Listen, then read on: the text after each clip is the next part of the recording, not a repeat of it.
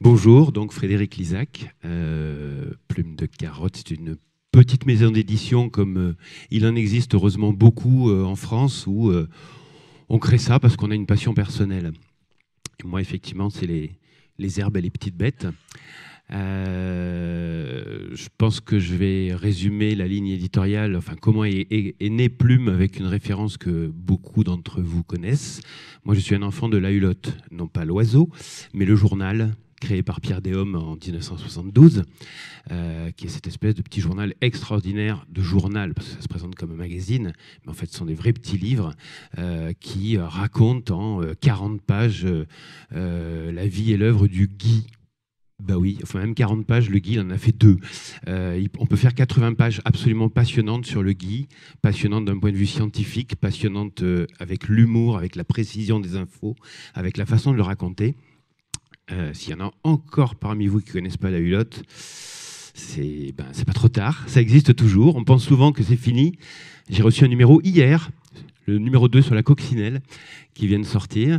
Et voilà, et ce quand je dis que je suis un enfant de la hulotte, moi, cette démarche de se dire que la nature autour de nous, elle est passionnante, mais on ne la voit pas, ou on ne sait pas la voir, ça, c'est quelque chose qui m'intéresse beaucoup dans le travail qu'on fait. Et du coup, qui est pour moi quelque chose de fondamental. J'ai créé Plume de Carotte il y a 18 ans. Il semblerait que depuis quelque temps, on est un peu plus dans l'air du temps, malheureusement, euh, parce que, mais heureusement parce que effectivement, on commence à parler beaucoup, beaucoup, beaucoup d'environnement. Euh, comment on en parle aux enfants? Ça, c'est une question qui m'a toujours animé et qui m'anime encore plus aujourd'hui. Je ne suis pas sûr que le catastrophisme ou la, la collapsologie soient des pédagogies très, très efficaces voire même je pense qu'elles sont catastrophiques, euh, et que c'est plutôt par euh, euh, l'éveil du regard, de l'évermeillement, de la curiosité, et qui passe par des moteurs de la surprise, du plaisir, de l'humour, qui fait que on va peut-être regarder le gui qui pousse sur le pommier du voisin, ou le pissenlit qui est au coin de la rue, ou assimiler des, des, phénomènes relativement complexes pour parler d'environnement et de menaces qui pèsent sur cet environnement, mais de manière euh, euh, non euh, repoussante et a priori pour se les approprier. Voilà, c'est vraiment ça. On fait des livres adultes et jeunesse. Moi, je considère que l'éducation à l'environnement, c'est pas tout à fait les mêmes ressorts. On fait pas évidemment les mêmes livres, mais on en est tous là face à une, une abondance de plus en plus énorme d'informations euh, ben, euh, être sensibilisé à notre environnement au sens premier du terme, ce qui nous environne, euh, donc à la nature déjà à la base, ça passe effectivement par des, recherches d'accroche de, pour qu'on s'y intéresse, pour qu'on re-regarde ce qu'il y a autour de nous. après, effectivement, dans la forme, à partir du moment où on a une thématique très forte, dans la forme, on décline un petit peu comme on a envie, comme ça nous semble intéressant. Ça peut être des petits romans, ça peut être des albums, euh, ça peut être des documentaires, mais avec un point, c'est pour ça que je posais la question tout à l'heure à M. Katinki, euh, qui moi m'intéresse et qui me semble intéressant, c'est l'idée qu'on ne va pas rester enfermé dans un domaine très précis. Par exemple, un documentaire va peut-être faire appel à des illustrateurs ou des illustratrices non pas réalistes, mais qui vont aller euh, nous amener dans un univers, qui porter, porter une ambiance. C'est le cas avec une collection, alors là c'est du pur documentaire qu'on a lancé cette année, qui s'appelle Les Aventuriers au Jardin Bio. Donc livre d'activité pour donner envie aux enfants d'aller au jardin. Euh, décliné non pas sur le fait tu vas apprendre à faire les plus grosses tomates euh, et les plus productives euh, parce que c'est pas vraiment très très intéressant, mais tu vas faire des expériences scientifiques au jardin, tu vas faire des jouets avec les plantes, tu vas cuisiner avec ce qu'il y a au jardin, mais donc nécessairement ça va être une cuisine de saison. Et là, on a fait appel à deux illustratrices. Euh, je remercie au passage le Diplodocus, puisqu'elles ont publié leur premier album chez le Diplodocus. C'est comme ça qu'on les a repérées, qui s'appellent Agathe Moreau et Johanna Viejac, qui sont tout sauf des illustratrices réalistes, euh, donc, euh, mais qui sont capables, en portant des ambiances, de représenter quand même des expériences ou des plantes ou des activités un petit peu détaillées. La passerelle, ça peut être entre le rêve, l'imaginaire et la littérature engagée. Et on a publié, par exemple, il y a deux ans, Une année dans les bois, qui est une adaptation du, texte de Henri David Thoreau, qui est un texte fondateur, qu'on dit être un des tout premiers textes sur l'écologie, voire sur la deep écologie, puisqu'il a écrit ça en 1859, après être allé s'isoler de longs mois au fin fond d'une forêt, avec un côté un petit peu misanthrope, mais avec une approche sensible de la nature qui était quand même extrêmement nouvelle. Et du coup, ce texte reste euh, assez moderne pour moi, si ce n'est que je ne sais pas si vous avez essayé de le lire.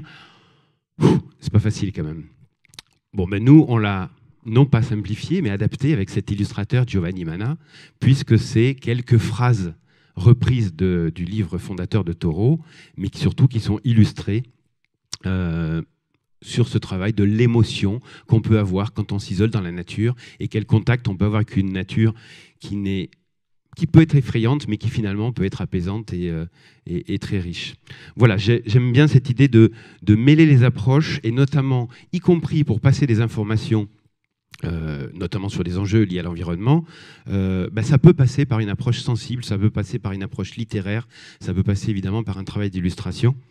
Dans le même genre, dans, ce genre jonction, on a publié il y a deux ans le premier livre de Pierre Rabhi pour les enfants.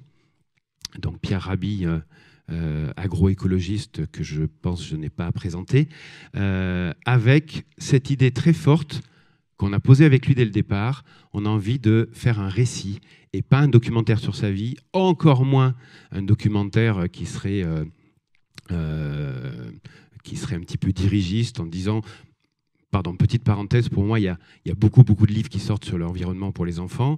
Il y en a pour moi qui resteront toujours complètement à côté de la plaque, c'est les bouquins qui disent aux enfants Tu vas sauver la planète, voilà comment faire.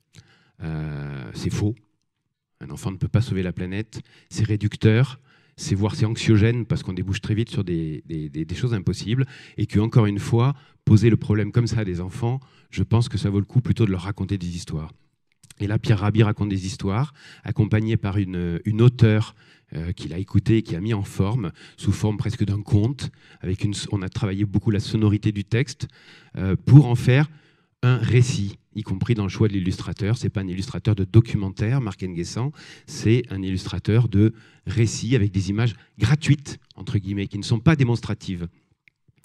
Et euh, visiblement, on n'a pas été les seuls à, ressentir cette, impression, puisque ce livre vient de paraître au printemps dernier chez euh, Folio Junior, qui on a acheté les droits pour le faire en poche dans une collection littéraire, à côté du Lion de Kessel, à côté de, Vendredi de Tournier ou des choses comme ça. Ils l'ont publié avec une préface de Leclésio au passage, excusez du peu. Voilà, donc cette envie qu'on a eue de, de raconter, évidemment, à partir de l'histoire de quelqu'un qui a des choses à raconter sur euh, l'environnement, sur l'écologie, mais de le faire passer par un récit, par une lecture, de, une sonorité de, littérature, bah, apparemment, euh, on n'est pas les seuls à penser que ça a pu marcher. Voilà, est-ce que j'ai encore une minute ou j'ai largement dépassé? Allez, 30 secondes pour vous présenter un livre qui n'est pas spécialement jeunesse, mais qui peut euh, euh, intéresser les ados. Et la mort monte, portrait d'une vague annoncée. Alors là, on est en plein dans, le, dans toutes les préoccupations dont on entend parler, et heureusement encore une fois, mais beaucoup, beaucoup, beaucoup, beaucoup, qui est le thème du changement climatique. Il faut savoir que les livres sur le changement climatique, euh, c'est une catastrophe commerciale. Ça ne se vend pas en général. Pour deux raisons. Soit ça ressemble à des rapports du GIEC, et qui a envie de lire 200 pages du rapport du GIEC? Il faut vraiment s'accrocher. Il y a des journalistes qui, euh, qui sont là pour nous vulgariser ça, mais sur deux pages, euh, dans un livre entier, c'est un peu compliqué. Soit c'est des livres absolument catastrophistes, euh, et qui, bah, qui présentent des tableaux relativement effrayants, qui ont peut-être une part de réalité, mais qui ont quelle efficacité? Qui a envie d'acheter un livre qui lui dit qu'on va tous mourir? Pas moi. là, l'idée, avec trois auteurs, donc trois approches différentes, ça a été de dire on va rien renier sur la connaissance scientifique, mais on va essayer de le rendre attractif. Bah oui, c'est peut-être un peu bizarre de rendre le changement climatique attractif. Et ça, comment? Il y a un auteur, Éric Chaumillon, qui est un scientifique, qui est un universitaire de La Rochelle, spécialiste en géologie marine, et donc qui nous explique avec moult graphiques qu'est-ce que l'Anthropocène, euh, pourquoi la mer monte, à quelle allure, et qu'est-ce qu'il existe comme solution. Mais il y a aussi un YouTuber qui s'appelle euh, Mathieu Duméry, qui est connu sous le nom euh, de youtubeur de professeur Feuillage, Je vous invite à aller voir ces vidéos qui sont assez potaches, mais qui sont très précis scientifiquement. Et il y a aussi un dessinateur de presse qui s'appelle Guillaume Bouzard, qui, excusez du peu, est un dessinateur du canard enchaîné notamment. Euh, et ils interviennent tous les trois à leur façon, chacun avec leur regard. Ça va jusqu'à Bouzard qui fait des dessins en disant J'y comprends rien. Mais avec des dessins qui font rire, avec effectivement, on est très proche du documentaire, ce qu'on appelle le documentaire éclaté, avec toute la, les, défauts qu'ils peuvent avoir, mais où on peut rentrer par plusieurs approches. On peut rentrer dans les dessins, on peut rentrer dans les blagues potages du professeur Feuillage, ou on peut rentrer dans les connaissances scientifiques très précises euh, d'Éric Chaumillon. Ça, pour moi, c'est un livre qui montre, je l'espère, qu'il n'y a aucun thème impossible, il n'y a aucune difficulté euh, rédhibitoire pour aborder des sujets très complexes, mais que notre travail d'éditeur, c'est un travail de mise en forme, sans rien renier évidemment au contenu. Je vous remercie.